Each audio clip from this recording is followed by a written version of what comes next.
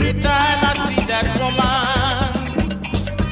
every time I see that girl, sexy feeling grew inside me, and I get it beside myself.